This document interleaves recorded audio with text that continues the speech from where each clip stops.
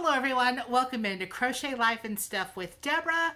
Finally, with the plans for my temperature project for next year. Now y'all might know I just started crocheting this year in 2021 in late January, early February, and I had no idea what this whole temperature project thing was. So once I learned about it, I thought, yeah, I think I'd like to do that next year once I get a little bit more crochet under my belt. And y'all know I've been crocheting all kinds of stuff. So I uh, finally have plans for it. See this? Crojo Corner has cool project planners and I used it to, use part of it anyway, to plan out my temperature project. You cannot see all the little letters. That's okay. Um, this is me figuring up how many rows and how many squares and all of that because I am doing squares. You see that cute little square? That's my little sample of how I'm going to be doing it. But just to let you know, um, I will have 19 squares across and 20 down. And each of these little squares are going to be joined uh, in white. So it'll add a little bit to the width. Okay, isn't that cute? Okay. If you are going to do a temperature project, for one thing, don't throw your square on the floor. Ah, there we go. Um, you need to decide what your color scheme is going to be. You need to decide how you're going to break up those temperatures. And you need to decide kind of what format you want it. A lot of people do different rows, like a, a week a row. I knew I didn't want to do something that time consuming. I'm not a fast crocheter. But every day, I can do a square. Right? It's not that big. It's literally two rounds. So I figure I can do a square and do a join every single day. The way I have this figured out, because 365 days in a year does not equal anything even.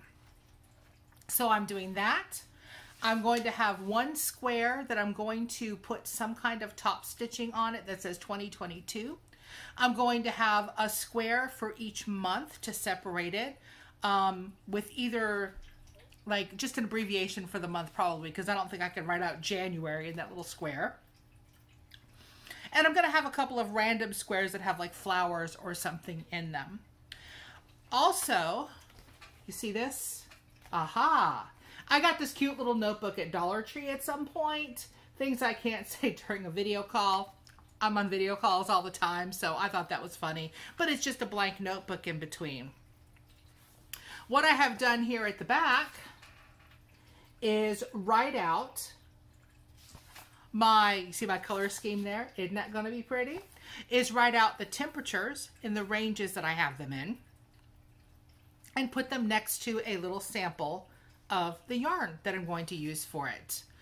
Um, where I am, I'm in Northeast Georgia. We don't get terribly cold.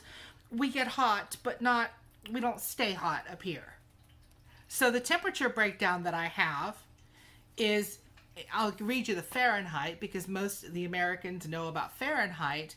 Um, less than 27 degrees, okay. 28 to 36. 37 to 45.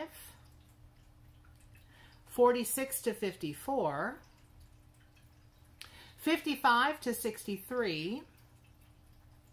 64 to 72. 77, excuse me, 73 to 81, not 77 because I can't read my own handwriting. 82 to 90 and anything above 91 degrees. I have also written next to it the ranges in Celsius. Why? Because I want to get more comfortable with temperatures in Celsius. Oh,